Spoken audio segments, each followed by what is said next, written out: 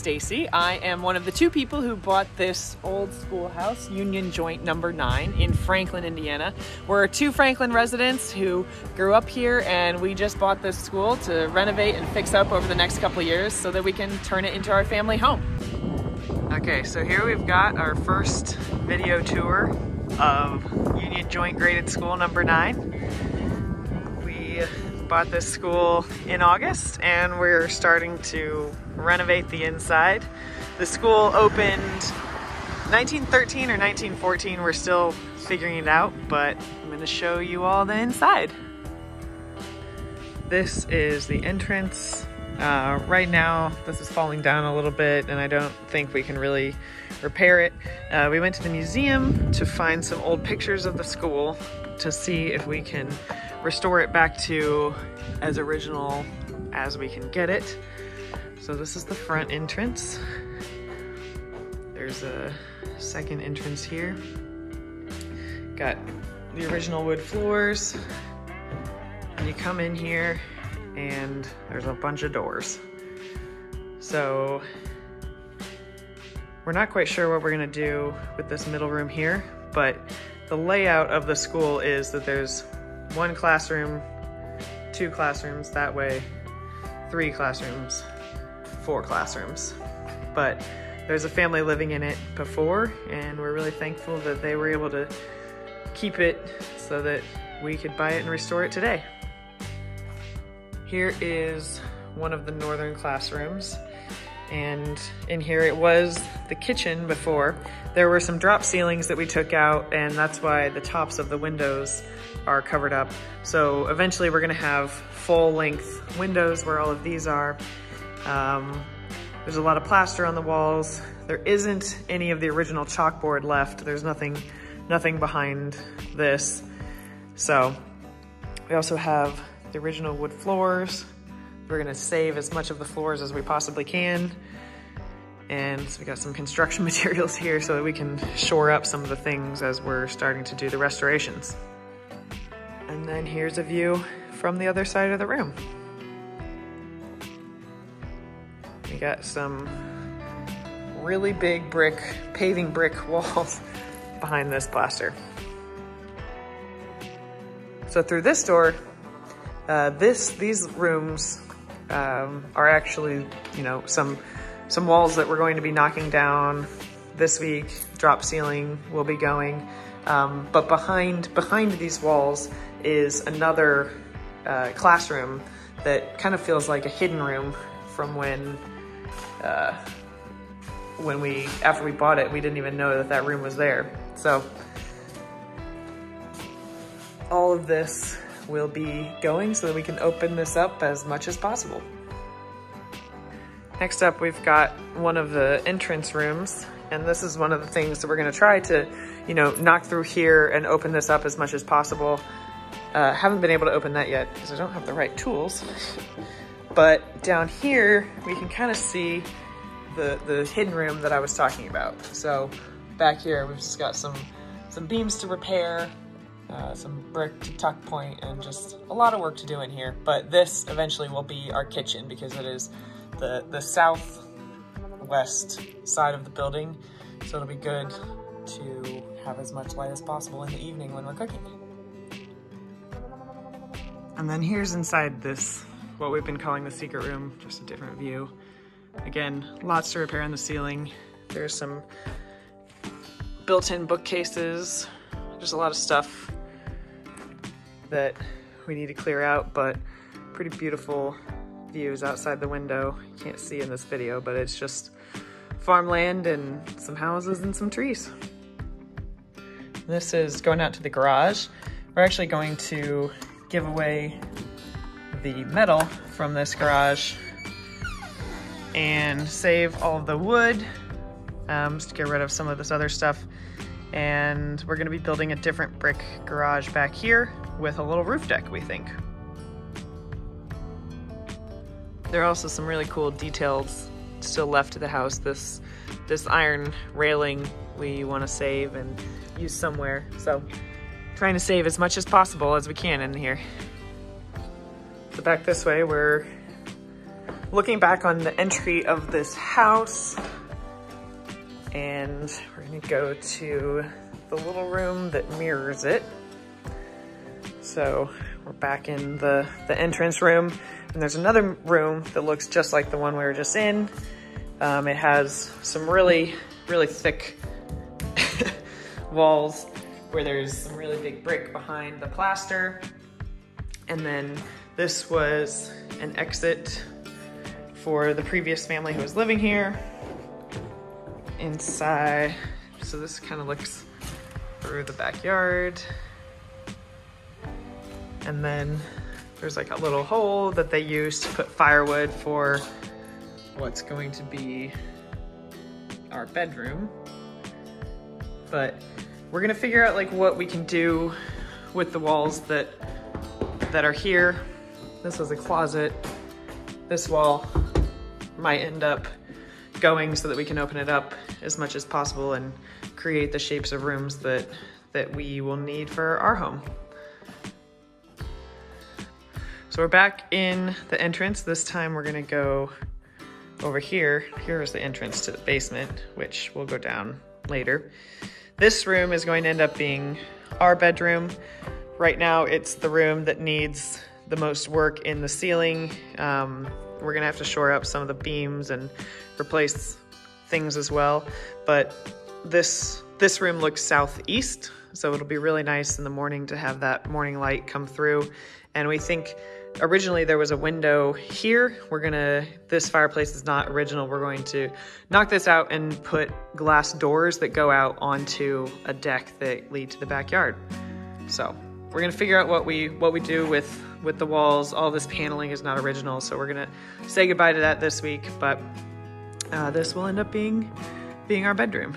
I'll show you the view out of the the east. So kind of what the backyard looks like. So here I'm looking north from our bedroom. Uh, these, we believe, are not original to the school, so we're gonna figure out what to do with that. All these walls are gonna be coming down this week.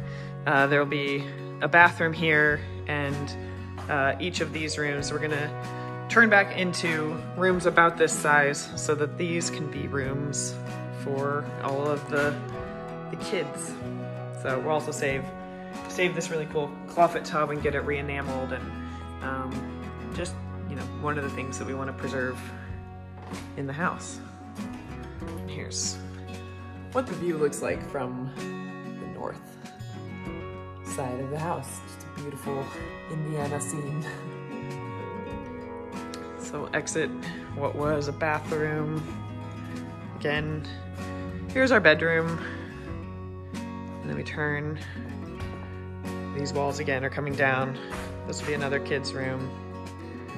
And then we go back into this entryway full of doors. Okay, and now the basement. So let me see, this light. Got, it's pretty dark in here. I'm Gonna go down these stairs.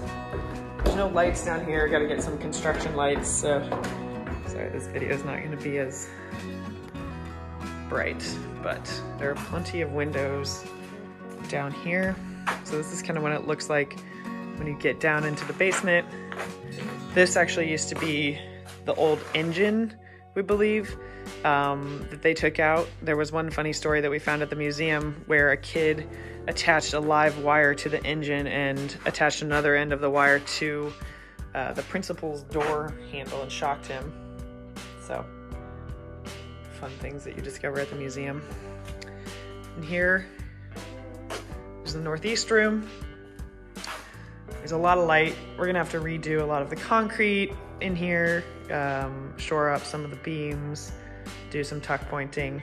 A lot of work to be done in here, but eventually we'll think it'll become something like a guest room and storage and um, guest suite, I mean.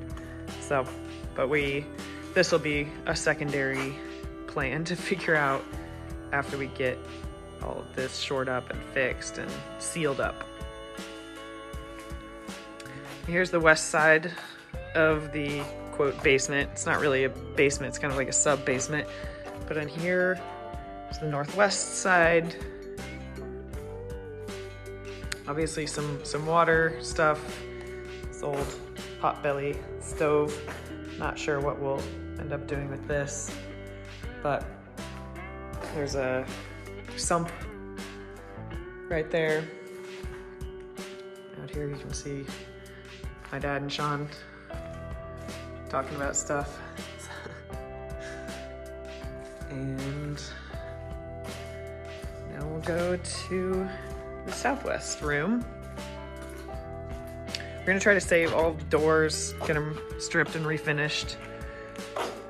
Here is the southwest room. So obviously there's some water getting in here because we've got some plants growing, but a lot of fixing to do. There used to be a lot of cricket spiders in here, which I didn't know about until we bought this place.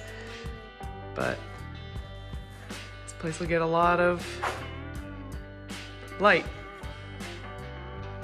Going back up the stairs, I'm now gonna go show a little bit of the yard. So again, we're back in the entryway. so, pretty cool. Go outside. So this is the view from the front of the house. It's just gorgeous Indiana farmland. And as you walk around the school, you can see it's a pretty imposing structure for the rural layout.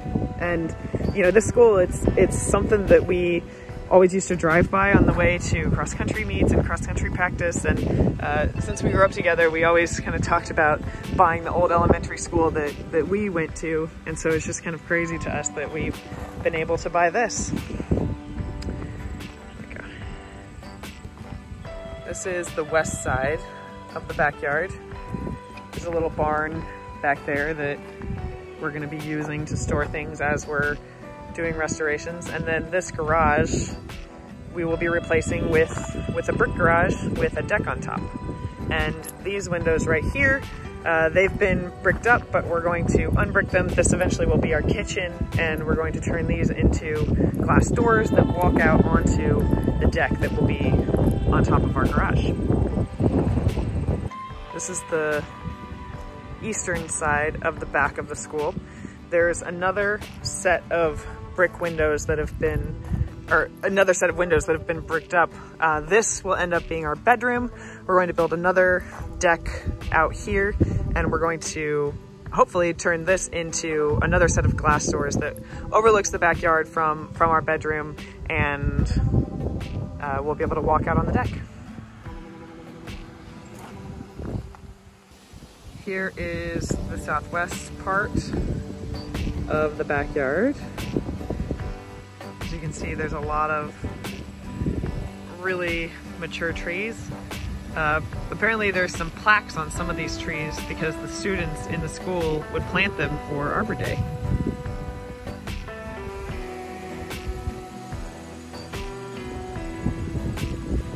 This is the barn that we'll be keeping for a little bit and then fixing up. Here's the back of the school from the yard. Just love the views of the fields. And I am super excited about this plant. So in Indiana, sometimes called a maypop.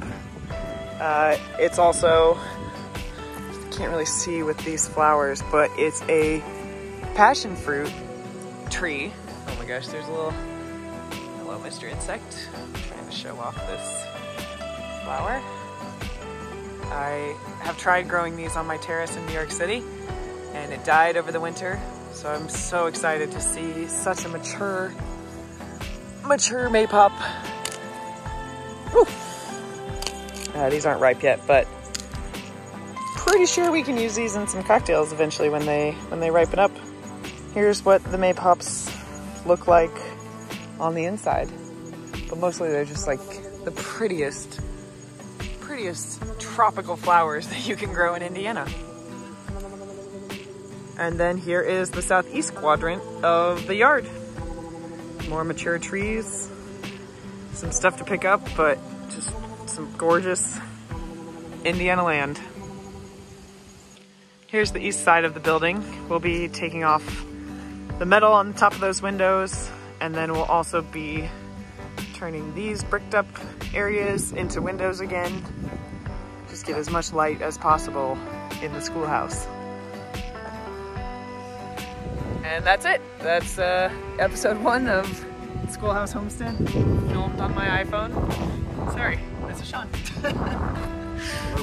Got a lot of work to do.